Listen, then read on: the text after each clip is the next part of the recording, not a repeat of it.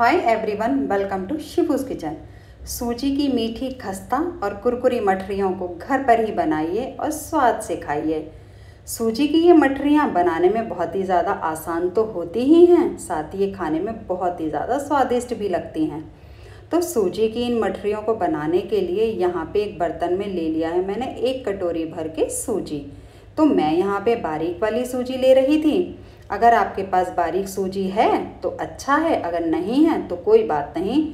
आप मोटे रवे को ग्राइंडर जार में एक बार चला लीजिएगा। साथ ही लिया है मैंने एक कटोरी भर के नॉर्मल गेहूँ का आटा।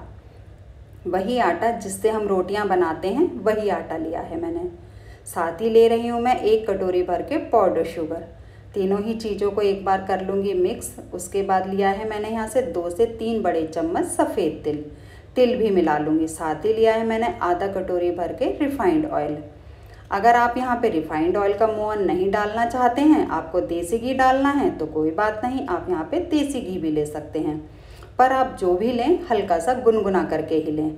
तो यहाँ पे सभी चीज़ों को अच्छे से एक बार कर लूँगी मैं मिक्स उसके बाद लिया है मैंने यहाँ पे थोड़ा सा दूध। क्योंकि हम इस डो को तैयार करेंगे दूध के साथ। तो मैंने यहाँ पे नॉर्मल रूम टेम्परेचर का ही दूध लिया है। थोड़ा थोड़ा करके मैं इसमें दूध मिलाती जाऊँगी और एक अच्छा सा स्मूथ सा डो कर लूँगी तैयार। तो जितने दूध की आपको आवश्यकता है, आप उतना ही लीजिएगा। तो मैंने यहाँ पे दूध डाल के डो को अच्छे से तैयार कर लिया है। साथ ही इसको रेस्ट पे रख दूँगी मैं 10 से 15 मिनट के लिए, ताकि ये सूजी हमारी अच्छे से फूल जाए। ये देखिए हमारा कितना परफेक्ट और अच्छा सा डो बन के हुआ था तैयार। डो को मैंने एक बार हाथों से और मसल लिया है, उसके बाद मैं यहाँ पे बेलूँगी मठरियाँ। तो मैंने मठरियों को अच्छे से बेल लिया था, एक कटर। मेरे पास तो ढक्कन था, अगर आपके पास कटर है तो कोई बात नहीं, आप कटर की हेल्प से इसको कट कर सकते हैं। इसको अच्छे से कट करने के बाद अब मैं एक फोक की हेल्प से इसको कर दूँगी ब्रिक ताकि हमारी मठरियाँ जो हैं फूलें नहीं, और एक अच्छी सी खस्ता और कुरकुरी मठरियाँ सिक्के हों तैयार। तो मैं यहाँ पे धीरे धीरे करके सभी मठरियों को थोड़ा थोड़ा करके बेल के कर लूँगी तैयार। इनको पहले ही मैं सारी मठरियाँ तैयार करके रख लूँगी फ्राई करने से पहले ही। हमारी सारी मठरियाँ बन के तैयार हो चुकी हैं। चलिए अब करते हैं इनको फ्राई करने की तैयारी। तो गैस पे चढ़ा दूँगी मैं एक पैन। पैन लें, अगर आपको कढ़ाई रखनी है तो कोई बात नहीं, आप कढ़ाई भी ले सकते हैं। तेल डालूँगी मैं इसमें रिफाइंड ऑयल। ऑयल को सिर्फ़ गर्म कर लूँगी हल्का सा ही। ज़्यादा तेज़ आँच पे हम इनको फ्राई नहीं करेंगे। हमें लो फ्लेम पर ही तेल को गर्म करना है। तेल को गर्म हो जाने पे धीरे धीरे करके इन मठरियों को हम इस तेल में डालते जाएँगे।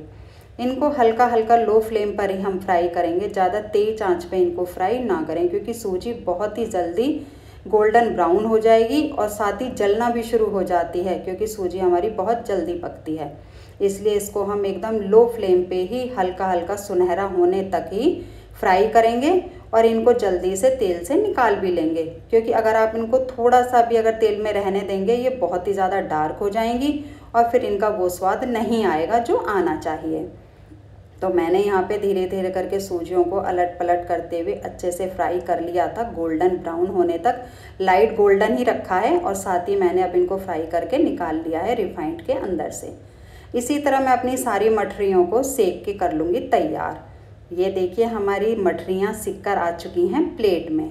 तो आप भी इन मठरियों को इस बार तीज पे अपने हाथों से ही बनाइएगा और बनाकर खाइएगा।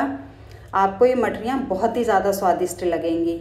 यकीन माने आप। तो आपको हमारी ये आज की रेसिपी कैसी लगी, प्लीज़ हमें कमेंट करके ज़रूर बताइएगा। हमारे चैनल को लाइक कीजिएगा, शेयर कीजिएगा, और अगर आप हमारे चैनल पर नए हैं तो प्लीज़ हमारे चैनल को सब्सक्राइब ज़रूर कीजिएगा।